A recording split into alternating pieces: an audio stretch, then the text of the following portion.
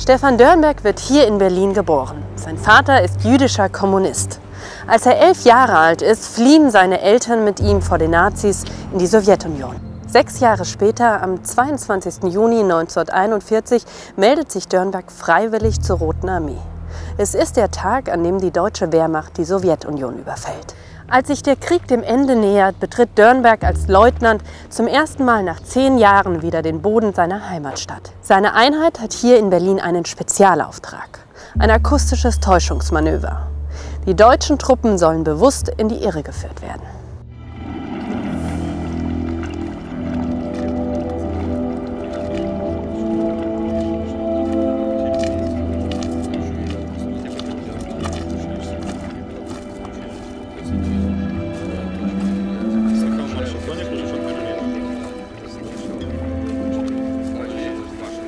Musik, Ivan Stepanovic? Besser als Musik.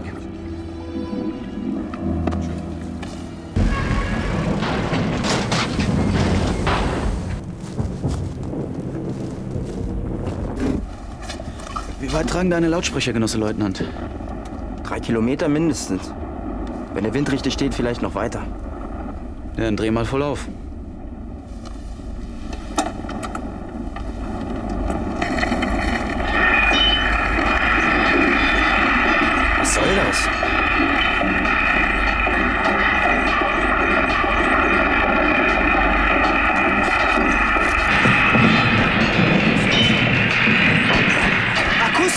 Kriegsführung. Kein schlechter Trick, Ivan Stepanovic. Sag mal, Genosse Leutnant, du musst doch die Deutschen mehr hassen als wir. Ich bin Deutscher. Du bist Jude. Während in vielen Stadtteilen noch erbittert gekämpft wird, hat die Rote Armee einige Randbezirke Berlins bereits besetzt. Ihr braucht keine Angst mehr zu haben. Der Krieg ist für euch vorbei. Für den Hitlerfaschismus ist er schon lange verloren. Jeder Widerstand ist zwecklos. Die Rote Armee ist gekommen, um euch zu befreien. Der Hitlerfaschismus hat ganz Europa und die ganze Welt ins Unglück gestürzt. Nun ist es an der Zeit, ein neues, ein besseres Deutschland aufzubauen. Darauf haben wir seit Jahren gewartet, Genosse Leutnant. Seit heute, Dienstag, den 24. April 1945, ist Generaloberst Bersarin Stadtkommandant von Berlin. Aber in Berlin wird noch gekämpft, Genosse Leutnant. Der erste Befehl des Stadtkommandanten lautet: Erstens. Die Bevölkerung der Stadt hat volle Ordnung zu bewahren und an ihren Wohnsitzen zu verbleiben. Zweitens. Die Nationalsozialistische Deutsche Arbeiterpartei und alle ihr unterstellten Organisationen sind aufzulösen. Ihre Tätigkeit wird hiermit verboten. Elftens. Verbände der Roten Armee und einzelne Militärangehörige, die in Berlin eintreffen, sind verpflichtet, nur in den von den militärischen Bezirks- und Revierkommandanten angewiesenen Unterkünften Quartier zu nehmen.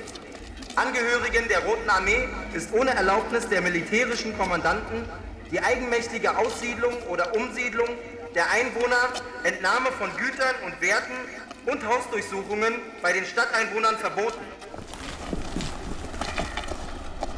Woher sprechen Sie so gut Deutsch, Genosse Leutnant? Ich bin hier geboren. Aber Das ist eine lange Geschichte. ich war ja immer gegen die Nazis als alter Sozialdemokrat. Aha. Menschen wie mich äh, brauchen Sie jetzt. Wie hieß der Vorsitzende der SPD vor 1933? Äh, das war der. Also, mir liegt es auf der Zunge.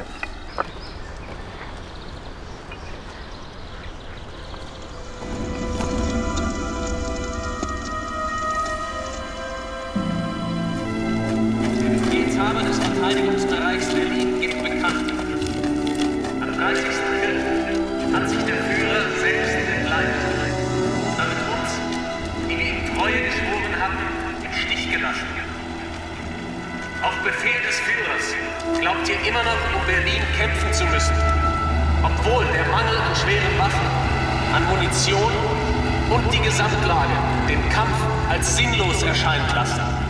Jede Stunde, die ihr weiterkämpft, verlängert die entsetzlichen Leiden der Zivilbevölkerung Berlins und unserer Verwundeten.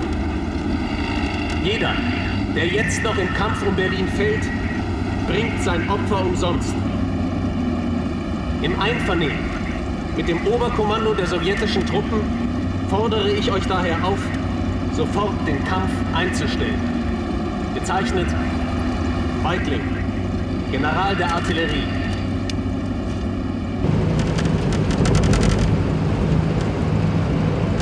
Nach der Kapitulation Berlins arbeitet Stefan Dörnberg für die sowjetische Militäradministration in Mecklenburg.